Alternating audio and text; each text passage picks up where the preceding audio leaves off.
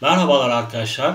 Ben size bu videomda SEO uyumlu içerik, e, SEO uyumlu makale e, nasıl yazılır e, bundan bahsedeceğim.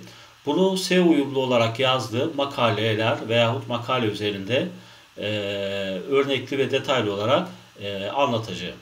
Videomu kısa tutmaya çalışacağım. Hemen arkadaşlar bakalım şu makalemde arkadaşlar SEO uyumlu web tasarım isimli makalemde Google'da ikinci sırada gelmekteyim.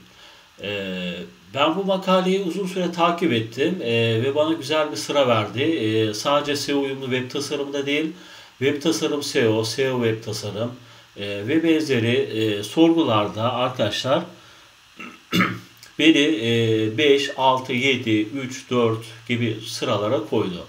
Fakat kendi kelimesi olan SEO uyumlu web tasarım ki e, anahtar kelimesinde e, ikinci sıra oldu. Hemen arkadaşlar dilerseniz e, e, bir anahtar kelimede e, Google'da e, diğer faktörleri e, düşürmeden e, nasıl e, yani e, şöyle diyeceğim arkadaşlar e, şöyle bir gizli sekme açma e, olayı var Google'da. Bakın bir kez daha gösteriyorum. Chrome tarayıcısı üzerinde. Şuraya basıyorum arkadaşlar. Bende İngilizcesi var. Ee, sizde gizli sekme diyecektir. Yeni gizli sekme aç. Evet açtım. Mesela buraya yazıyorum arkadaşlar. SEO uyumlu e, web tasarım. Şimdi burada e, gizli sekmede açtığımda arkadaşlar e, şöyle ki e, sizin konumunuzu vesaire konumunuzdan vesaire etkilenmeyecektir. E, tüm Türkiye'de veya e, Google'ın e, tüm e, dünyadaki algoritmalarında neredeyseniz orada size gösterecektir. Örneğin ben şu anda Zonguldak Ereğli'deyim. Beni Zonguldak Ereğli'ye göre değil de tüm e, dünyadaki yerimi veriyor. Bakın e, burada ikinci sırada hemen bir tane daha yapalım. SEO web tasarım sorgusunda az evvel bahsettiğim. Bakalım e, şuradan blok diyorum şeyimi göstermiyorum. Bakın beni e, dördüncü sırada olduğumu gösteriyor sitemin. Peki. Arkadaşlar e, bunu bu örneği bir kez daha göstereceğim. Bunu en güzel Chrome'da yapmak çok kolay. Şuraya basıyorum. E, gizli sekme aç diyorum. İngilizcesini incognito window. E, Türkçesi yeni gizli sekme. Burada e, konumunuzu göstermeden bir anahtar kelimede nerede olduğunuzu bulabiliyorsunuz. Örneğin ben buraya şey yazayım. Organik ürünler satın al. Mesela e, ilk çıkan sitenin reklamlardan sonra ilk çıkan sitenin bu olduğunu görebiliriz vesaire. Peki arkadaşlar e, video videomu kısa tutmaya çalışacağımı söylemiştim. Hemen bakalım e, bu e, anahtar kelimede veyahut benzer e, şu sonda verdiğim teklerimde beni e, öne çıkaran e, Google'da öne çıkaran ne? Şimdi ilk önce bir keyword'um var. Nedir arkadaşlar bu keyword'um? Hemen şuradan Control Find'dan bulalım. Pardon. Evet bulalım. Zaten e, başlığım benim keyword'ümde arkadaşlar. Başlığımı keyword'um olarak kullandım. Şunu Ctrl F dediğim yere yapıştırıyorum. Bakın başlığım da var. Geldim başka nerede var? İlk paragrafımda var arkadaşlar. Aynı şekilde anahtar kelimem. Bir alt başlığımda var arkadaşlar. Bakın aynı şekilde SEO uyumlu web tasarım şeklinde. Ve de bir alt başlıkta daha var. Ve de bir defa da parça içinde var. Ve birkaç yerde daha geçiyor. Gördüğünüz üzere. Normalde 5 veya 6 taneden 5 5'ten fazla bulunması aynı anahtar kelimenin e, parça, e, parça içerisinde, içerik içerisinde normal değildir. Fakat bu içerik biraz uzun cana. Örneğin e, yazının içeriğine bakalım arkadaşlar. WordPress bir site bu. Benim sitem WordPress bir site. Bakalım arkadaşlar e, parçam yani içeriğim kaç kelimeden oluşmuş. Bakın 1036 kelimelik bir makale.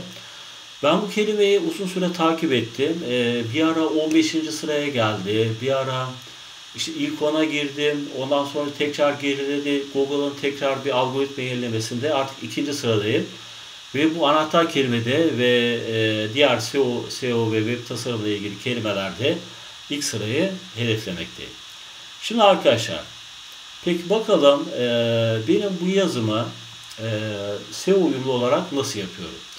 Şimdi e, şuradan görebileceğiniz gibi readability, Türkçesi okunabilirliktir, iyi değeri veriyor. SEO değeri yani araba motor optimizasyonu iyi değeri veriyor. Yeşil değer. Peki bunu ben nereden bakıyorum? Arkadaşlar şöyle used e, İngilizce okunuşu, Türkçe İngilizce okumayanlar used şeklinde de okurlar. Used SEO eklentim sayesinde ben yazımın e, okunabilirlik ve e, SEO ayarlarını buralardan görebiliyorum. Okunabilirlik analizi nedir? Bakın okunabilirlikte e, tüm değerlerde iyi değer almışım. Subheading Distribution e, alt başlık dağıtımı bunda iyi yapmışım. Çünkü e, bir e, parçada e, bir paragrafın 300 kelimeden fazla olmaması veya bazen işte 200 kelimeden fazla olması vesaire ölçütleri oluyor. Bakın paragraf length, none of the paragraphs are too long, great job. Hiçbir paragraf e, gereğinden uzun değil, iyi değeri veriyor bana.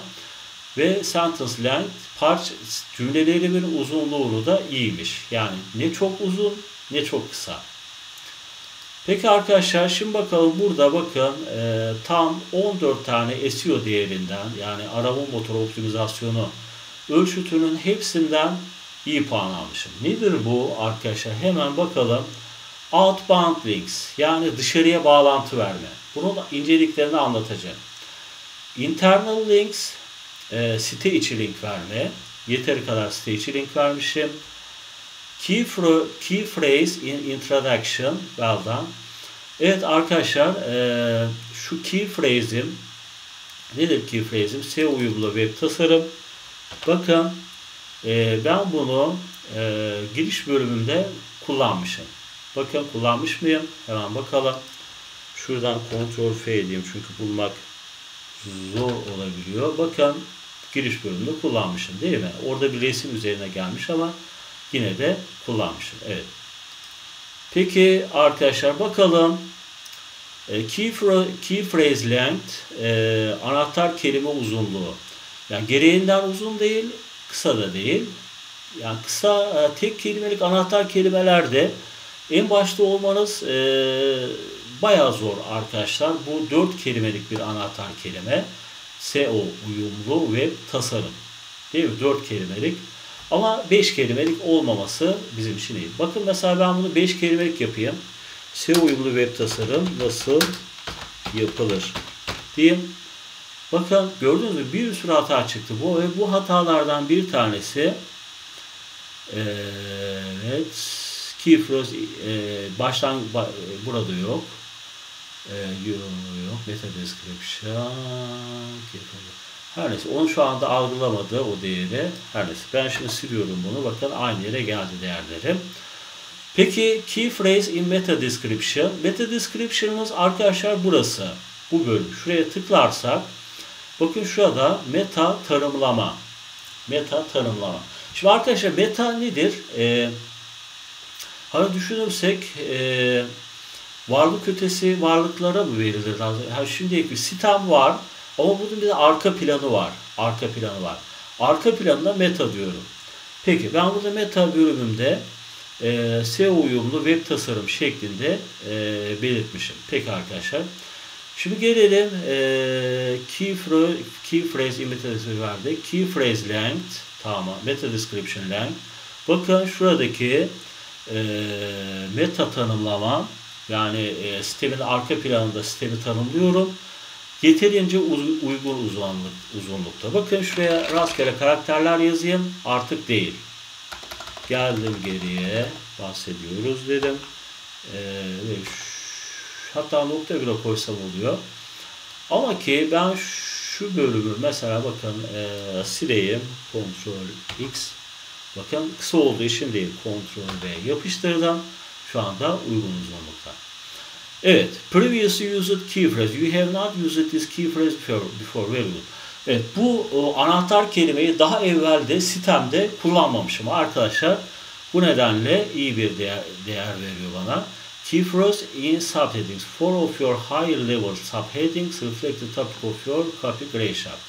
Arkadaşlar e, alt başlıklarımda e, anahtar kelime, kelimemden bahsetmişim. Bakın SEO uyumlu web tasarım, SEO uyumlu web tasarım, SEO uyumlu web tasarım, SEO uyumlu web design gibi en az bunda en az mı diyor bakalım. Pardon tam olarak 4 defa 4 defa belirtmişim. Image alt attributes diyor arkadaşlar good job diyor. Bakalım e, sistemde kullandığım resim bu arkadaşlar baktım.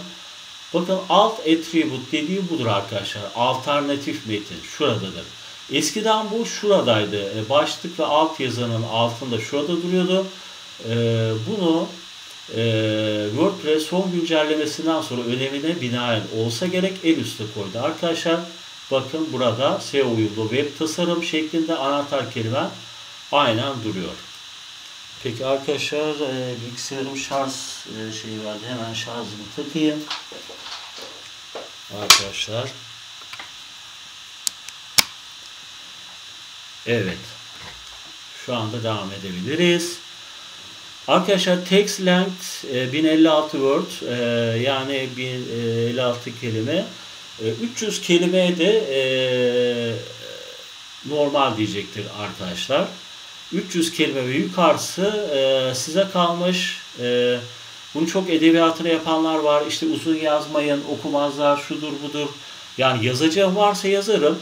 Bazen 100 kelime de e, SEO uyumludur bence. Neden 100 kelime SEO uyumludur? Gerekli olan bilgi 100 kelimede sığıyorsa bence SEO uyumludur. Yani e, bana e, öyle demişler e, şeyde e, yani Just veya Google o şekilde belirlemiş. Çok da mühim değil. Bu bir alışkanlık olması bakımından yani en az 300 kelime olması gerekiyor. Şimdi arkadaşlar key phrase in title başlığında anahtar kelimem geçiyor. Bakın mesela SEO uyumlu web tasarım nasıl yapılır yazsam dahi bir şey değişmez. Bakın o değerim bozulmaz. Bakın e, key phrase, key phrase in title hala duruyor arkadaşlar. Gördük mü? Yani ben başlığımı SEO uyumlu web tasarım nasıl yapılır şeklinde de değiştirebilirdim. Ama yapmıyorum. Çünkü öyleydi. Sihri bozulmasın diyorum. Peki arkadaşlar SEO title length width bakalım e, SEO başlık uzunluğu e, hemen şurada bakın şuraya kadar. Gördük mü? Mesela ben buna ek şeyler ekleyeyim. Bu sefer arkadaşlar gereğinden uzun olacaktır. Hatta şu anda e, her neyse evet, şu şekilde dursun. Ve e, key in Slack more than half of your key phrase. Şöyle bir değer var arkadaşlar. Slack değeri. Bunu e, bu değeri e, şeyde kullanıyor. Şu e, bizim şurada domain uzantımızda yazıya verdiği domain uzantısında kullanıyor. Bunlar. Peki. Şimdi bakalım bay, arkadaşlar bunu site üzerinde görelim. Anahtar kelimemiz değişik yerlerde var. Var mıydı? Var. Peki inbound linki yani ilk önce o var burada onu göstereceğim. Bakın şurada bir site içi e, hayır, bu, pardon bu outbound link dışarıya açılan bağlantı. Arkadaşlar dışarıya verdiğiniz bağlantıları e, şeyi e, sayfa otoritesi çok çok yüksek sitelere verin. Örneğin bakın mesela ben burada bağlantı vermişim ya. Bakın bunu düzenle diyeyim. Mesela örneğin e, evet yeni sek bağlantıyı yeni sekmede aç derseniz sitenizde bu bağlantıya tıklayanlar farklı bir yere yönlenmeyecek, farklı bir yere yönleneceklerdir ve sizin siteniz hala açık olacaktır. Bu çok güzel. Ee, ve ondan sonra bakın bir tane de iç link, internal link vermişim. Bunu da e, bir başka makaleme vermişim. Peki ondan sonra arkadaşlar e, hemen yaptığımız pratiklerden evet Keyifli. Evet, e, anahtar kelimemi ilk e, paragrafında kullanmışım. Arkadaşlar vesaire vesaire. Şimdi videomu kısa tutacağım dedim. Videolarımı kısa tutmayı bir türlü öğrenemedim. Ama ki e, bir tane de e, benim e, SEO uyumlu e, makale yazmak ile ilgili bir makalem var. E, onu, onu da ben size bir göstereyim arkadaşlar. Hemen şuradan SEO uyumlu makale yazıma. Bakın burada ben 12 madde sıraladım ama iki tane zaten diğerlerinin içinde anlatılıyor. Ee, buradan da arkadaşlar çalışabilirsiniz, e, inceleyebilirsiniz. Bu makalem hemen sıra almadı çünkü çok özentili bir makale değil ya içerik değil galiba. Ee, artık bu videodan sonra belki alabilir. Çok teşekkür ediyorum arkadaşlar izlediğiniz için. izleyenlere ve izlemeyenlere herkese teşekkür ediyorum. Çok sağ olun.